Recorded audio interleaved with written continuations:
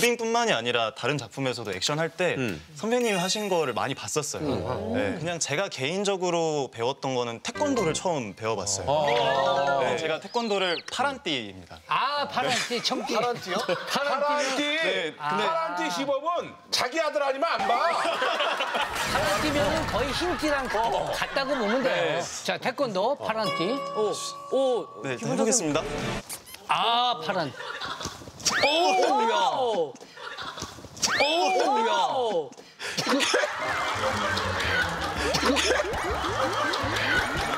아니 그, 그 정도면 제가 GD, 지드래곤을 너무 좋아해서 어, GD. 옛날부터 많이 했었던 건데 하나, 하나, 영원할 줄 알았던 사랑도 사무가 어머, 어머. 왜 이렇게 부활할까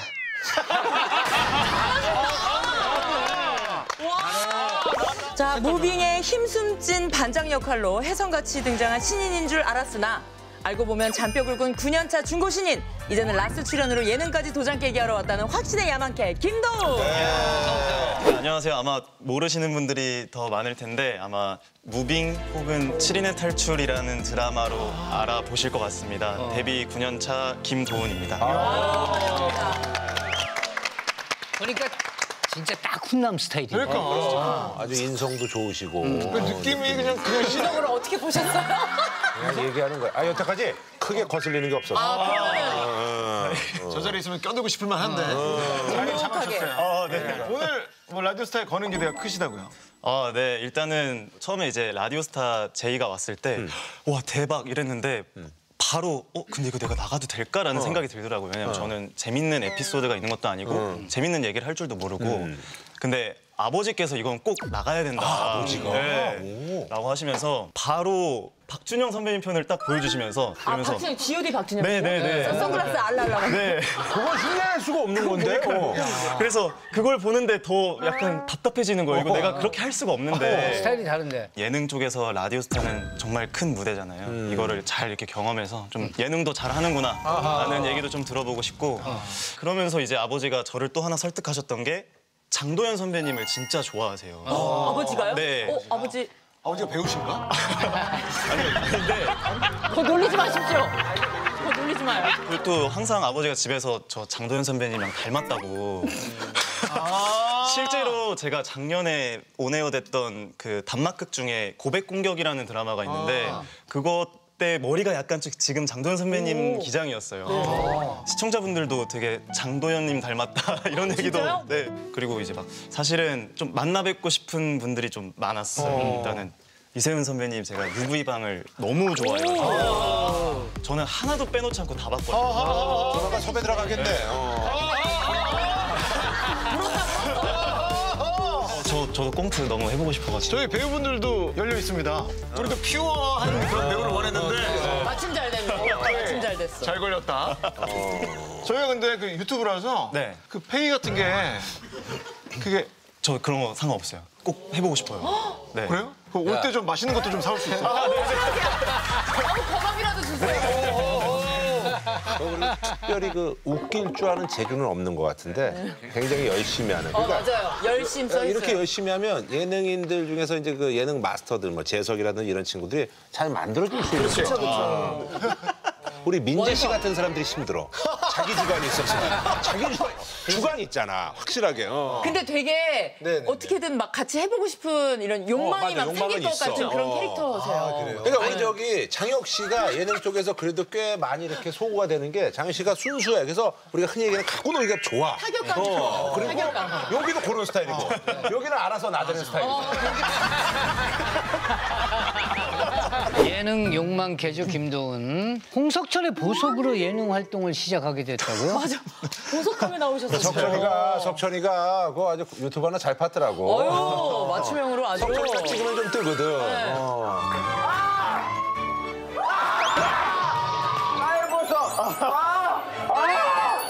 그러니까 사실 그것도 어떻게 하게 됐냐면 제가 원래 인스타를 그때 당시 시작한 지 얼마 안 돼서 DM 같은 걸 잘 몰랐어요. 근데 그 화살표에 알람이 떠 있길래 들어가 봤더니 토니홍이라는 계정으로 홍석천. 아, 폰이야? 토니홍이야. 토니홍. 네. 이 SNS에서. 그래? DM이 와 있는 거예요. 토니홍. 어, 이게 어. 뭐지? 해가지고 봤더니 어 도훈 씨 드라마 너무 잘 봤어요. 뭐 건승하세요 이렇게 와 있는 거예요. 그래서 어. 어 선배님 너무 감사하다 이렇게 뭐 재밌게 봐주셔서 너무 감사합니다라고 답장을 보내드렸어요. 그러고 이제 한 10분 뒤에 실장님한테 전화가 오신 거예요. 홍석천의 보석함이라는 프로그램이 이제 만들어질 건데 한번 게스트 그 섭외가 왔다 해가지고 어 이거는 무조건 나가야겠다. 뭔가 홍석천 선배님이 픽하면 잘 된다. 뭐 이런 얘기도 그치. 있고 그리고 어쨌든 뭔가 타이밍이 되게 운명적인 건가라는 생각이 들어가지고 그래서 이제 출연하게 됐습니다. 그 나가서 홍석천 씨 처음 봤는데 어땠어요? 어 사실 처음엔 조금 서운했어요. 왜? 왜? 왜냐면은 제가 21살 때 선배님이랑 같은 드라마에 출연한 적이 있었어요. 네. 그래서 뭐 reading이나 회식 때 인사를 드린 적이 있었는데 워낙 만나는 인맥이 워낙 넓으시다 그때는 뭐 보니까 볼때만치 했구나. 네, 그때는 이제 기억을 못안 하셨구나. 하셨는데 당시 보석은 누구였어요? 당시 보석. 그때 당시에 보석은 이제 여진구 형, 아, 홍종현 형. 아. 그때는 뭐 눈이 안 갈자네.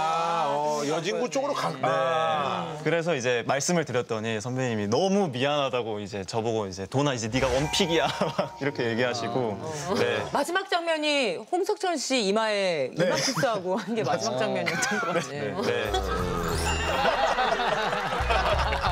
씨가 저 얼굴은 앳됐는데 중고 신인입니다. 근데 이번에 무빙이 아주 잘 됐지 않습니까? 그래서 이번에 아주 그 인기를 제대로 실감하고 있다. 이제야 조금 가, 간혹 가다가 이제 저를 알아봐 주시는 분들이 그 전에는 마스크 뭐- 모자 이런 거 하나도 신경이 안 썼는데 조금 재밌었던 게 원래 늘 가던 편의점이 있었어요.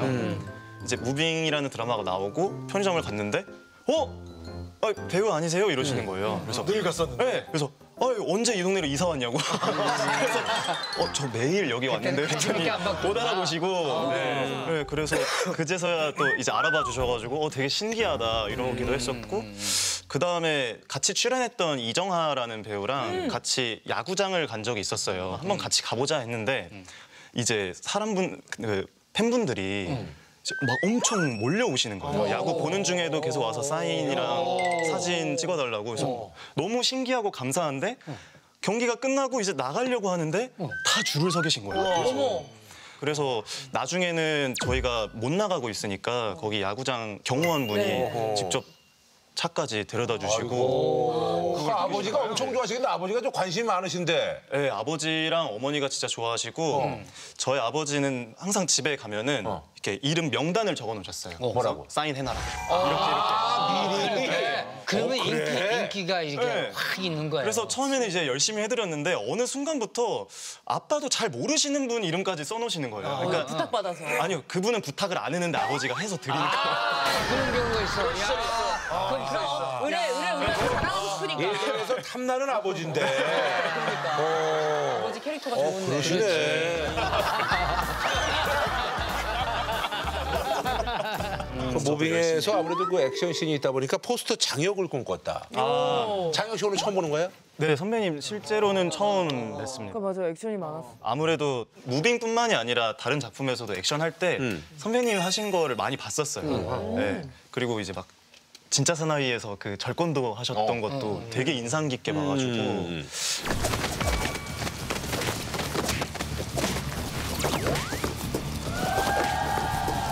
그래서 선배님처럼 좀 멋있게 좀 액션 해보고 싶다. 아, 그럼 뭐 배웠어요? 그래서? 어, 이제 뭐 액션 스쿨 가서 이제 몇 번 맞춰본 거랑 그냥 제가 개인적으로 배웠던 거는 태권도를 처음 배워봤어요. 네, 어, 그렇구나. 왜냐면은 발차기 같은 거를 제가 따로 배워본 적이 없어서 아, 그래서?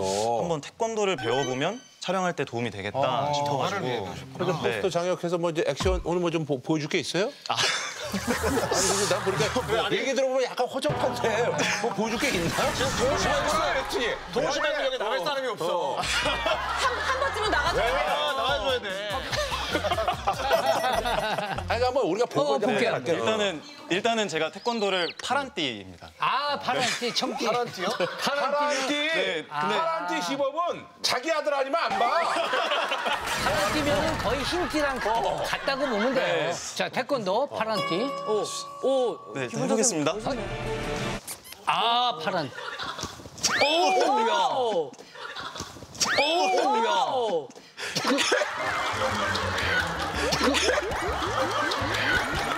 아니 그, 그 정도면 아니 근데. 이 지금 레벨에는 이게 맞는 건데 아니 아니 아니 그래도 그나마 다행인 게 옷을 잘 입고 와가지고 후두둑 소리가 나가지고 아니 아니 어. 어, 그죠 옷은 잘 입고 왔다. 그 정도도 멋지네. 아 근데 사실 거기 관장님도 사실 저 검은 띠 수준이라고 하거든요. 그러지 마세요. 갑자기.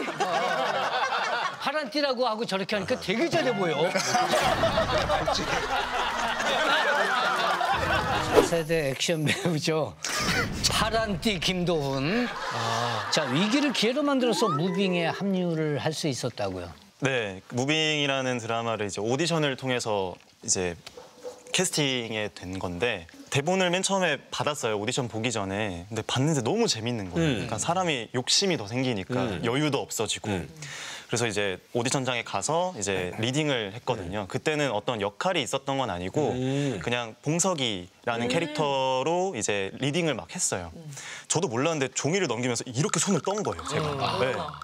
하면서 대사 한 줄 한 줄 읽을 때마다 아 망했다, 아 망했다, 망했다 이 생각. 틀렸어. 손이 막 떨렸어. 네, 손이 떨리고. 그러니까 나중에는 심지어 거기 계셨던 PD님이 저희 회사 실장님한테 전화해서 어디 아픈 거 아니냐. 진짜로. 그래서 회사 실장님도 한번 병원에 가보자 해서 검사까지 받아봤어요. 진짜로? 수전증 검사를? 수전증 검사를. 아 진짜로? 네. 아 그전에 그렇게 안 떨었어? 어, 좀 긴장되면 떨었는데 어. 저도 제가 심하게 떤다는 걸 그때 안 어, 거예요. 그래? 다른 사람들이 봤을 때 아파 보일 정도로 떨었구나. 아까 이거 태권도는 안 떨었어요. 아 그때도 사실 더 잘할 수 있는데 떨어가지고 좀. 네. 아, 내가 볼 때 더 잘할 수는 없었어. 이거 떨려면 이거 흘리는 최고 수준까지 가야지. 어, 그래서 근데 어쨌든 이제 오디션을 한 시간 정도 보고 나갈 때 아 그래도 여기서 뭐라도 하고 가야겠다. 그래서 감독님 저는 사실 봉석이라는 캐릭터로 오늘 리딩을 했지만 강훈이라는 캐릭터를 너무 해보고 싶다. 네. 그 자리에서. 네, 왜냐면은 실제로 대본 봤을 때도 이상하게 좀 눈이 더 많이 가고 좀더 이입이 잘 되는 게 그 캐릭터였었거든요. 그래서 제가 조금 더 잘할 수 있을 것 같고 이 캐릭터가 가진 서사나 감정에 제가 조금 더 잘 몰입을 할 수 있을 것 같습니다. 하고 나왔어요. 근데 이제 이제 보통 캐스팅이 된다고 하면 일주일 안에는 연락이 오거든요. 근데 일주일이 지나도 연락이 없고 여쭤보면은 기다려달라 이런 얘기만 하시니까 아 안 됐구나 하고 있었는데 3개월 뒤에 그 강훈이라는 역할로 캐스팅 됐다고 이제 아, 우리 저기 보니까 무빙 촬영장의 분위기 메이커. 충분히 그랬을 것 같아요. 어. 아 성대모사를 준비했어요. 아, 그럼 해야지. 잔치네, 잔치야. 재밌을 것 같아. 뭐죠, 뭐죠? 아, 성대모사 누구? 제가 GD 지드래곤을 너무 좋아해서 어, GD. 옛날부터 많이 했었던 건데 하나, 아, 영원할 줄 알았던 사랑도 사무가 어머, 어머, 잘해. 나이가 들어서는 어른이 되나 봐요 왜 이렇게 부할까